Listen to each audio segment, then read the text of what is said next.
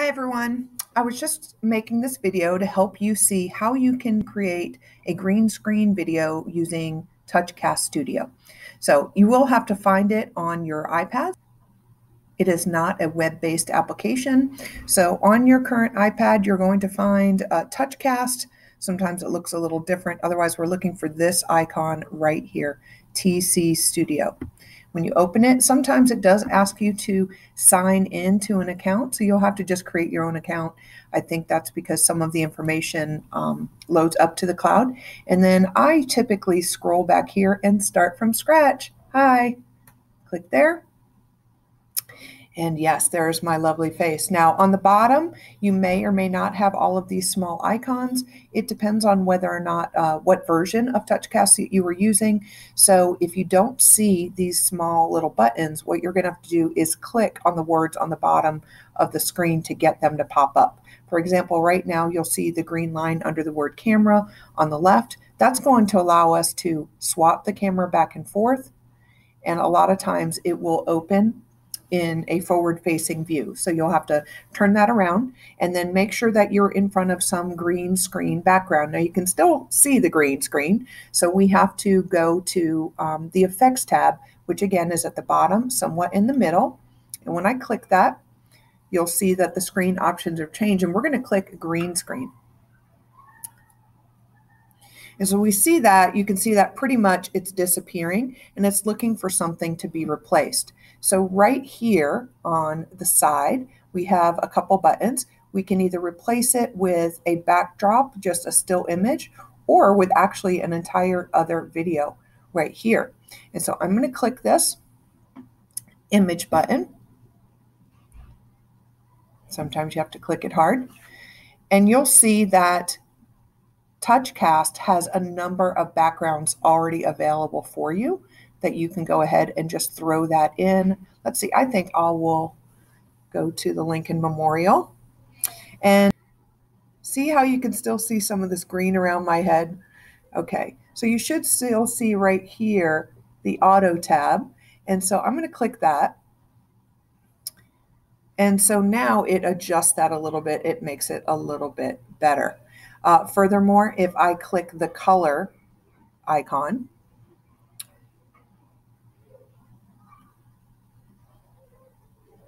so furthermore, if I click the settings icon, you're going to get this, you're going to get this adjustment background square, and you can hold down on that white dot and move it. Ooh, I am invisible. And you can change it to where you're going to get the best outcome for your color combination. I think we're good, pretty good right about there, right? And I'll just click anywhere to get that to disappear. So maybe I messed it up a little bit, but it works for now. All right, friends. So there's a lot you can do here with um, with TouchCast, and you can add in a lot of things around you during your video and you can um, these are called vApps and so you're going to see that right down here on the bottom right and that is going to be a vApp so I'm going to click that and in the very center you'll see add a vApp and when I click that these are all of the things that you can actually put into your video of course not necessarily over your face but maybe uh, floating off to the side that you might see during a news broadcast. And so the first one, of course, is a web page. I'm going to go ahead and click that. And when I click it, it's just asking for an address. So I have already loaded a web page in the background. So since we're with the um, capital theme, I have opened this website.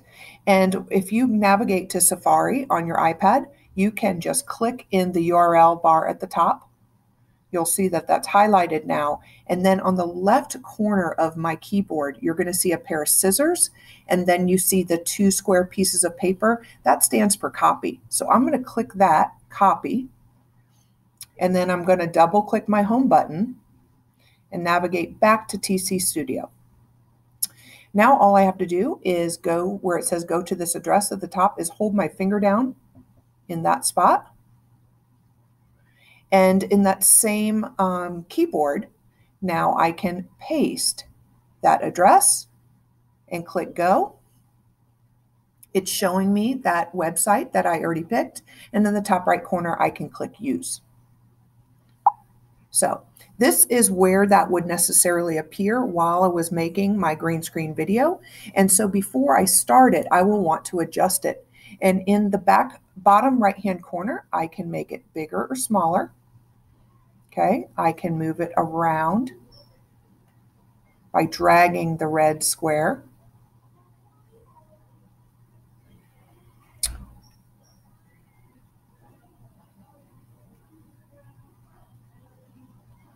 And I might even need to adjust where I'm going to sit if I'm going to be talking about this item. So in the very top right hand corner, you're going to see a little teeny minus sign. So I can click that and make it disappear. However, it's still waiting for me right down here when I'm ready to load that into my movie. So let's try again. Let's add another vApp. Add a vApp in the center. And we can um, use that same website as a hotspot. So I'm going to click hotspot. And a hotspot is a place somewhere on your page that when someone clicks it during your video, it will navigate outside to the internet. So I'm going to do the same thing. I'm going to click in the go to this address bar and I'm going to click the paste button and click go. And we're just going to use that as a hotspot site as well. And I'm going to click use. And it's asking where do I want that hotspot? So maybe I'll make that hotspot right on top of Lincoln's head. All right, now let's go ahead and hit the minus to make that disappear for now. And we're going to add another vApp. So you can see that there's lots of things that you can add. You can add a photo if you um, have something that you've been learning about. I'm going to go ahead and go to my camera roll and just find a picture that I have. I'll choose this one and click use. Again, it's usually going to um, open on the bottom. I can click it right here on the bottom so it will pop up. And then I can, just like before, adjust where it's going to show up during my video. I can put it on this side if I want, and I can make it a little smaller. And again, hit the minus in the corner to make it go away once I have it set. I'm going to add another vApp. I can add a document if I'm talking about information about a project or report that I want to share. Um, I can actually, if you go down, I can add a quiz question about my topic that will pop up in the middle of my video. I can ask a poll, I can throw in a quote.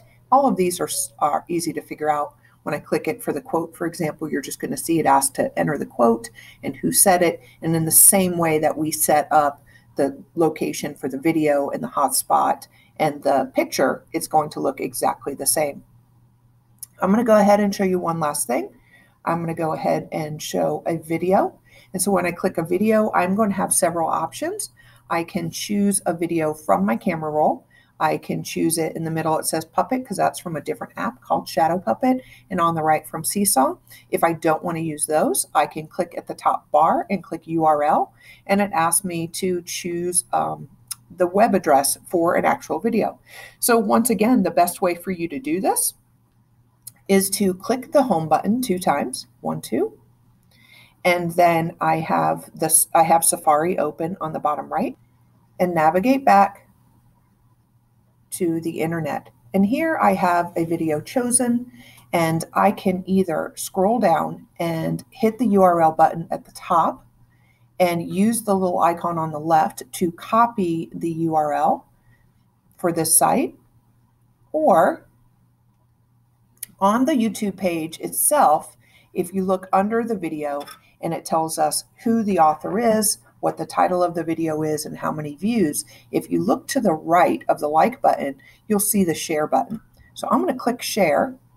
And then this box pops up, and all I have to do is click the copy button on the right. And now my link has been copied to the clipboard. So I'm going to close that out. I'm going to double click on the home button again. I'm going to click on TouchCast Studio and now I can simply click in that box for the URL. And again, on the left side of my keyboard, I have the green paste icon. And I can do that and click done. and it does not like this video. So let's see if we can do something about that. All right, typically that's how you would add a video to, to your video. And it would again appear right here or right here or wherever you place it. And you could set that to automatically play. Now, on the very bottom, again, you're going to see right down here, there is an option to go ahead and create titles if you want. If you want to create some kind of title, you can choose what it's going to look like. Most of these are going to be small bars that appear at the bottom of your video. So just choose one that goes along with your theme. I kind of like this one. And you click it.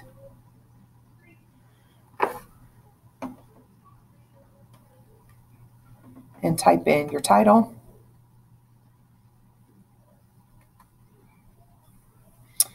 And I could, oh, it didn't like that.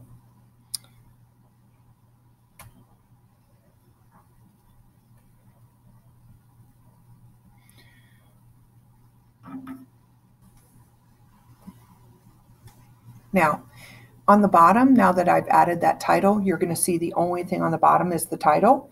If I want to get those vApps back up, I'm going to have to click vApps and you'll see them back at the bottom. And I am ready to record. So what I can do, make sure everything is ready.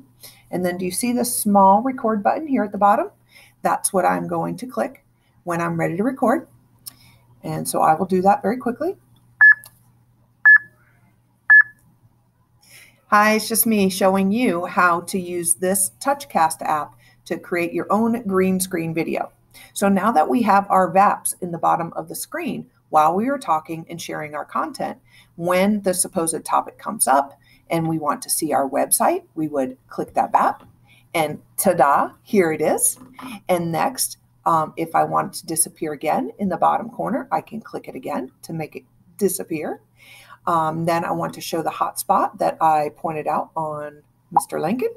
And there it is. And I could click it and navigate out during the watching of my video. And I could just go ahead and show you this nice Christmas photo that I inserted.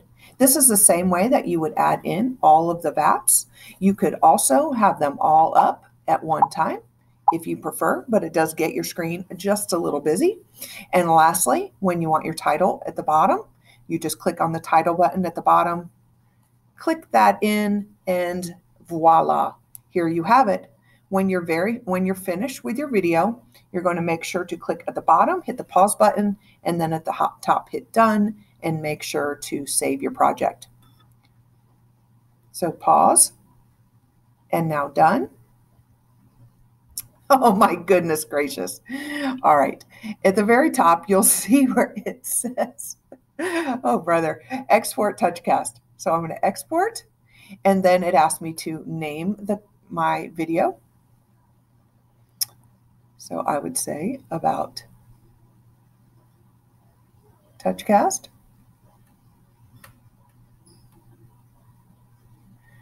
And I clicked on the screen so that the uh, keyboard would go away. This is important because at the very bottom of the screen, which you can't see very well, I like to turn this button on Save to Camera Roll. So that way it's already going to be in your library files. Click Save. And that way it is actually rendering your video as an MP4 file that you can export and you can upload to Seesaw or to your team site or to your OneNote notebook or to email a link to your teacher, however you would like to do that. And now it is going to be here in your TouchCast library. You can go back at the top and look at your individual projects that can still be edited or at the very beginning, again, new TouchCast. I hope this helps you to make your own green screen movie and motivates you to do something fun for class. Bye.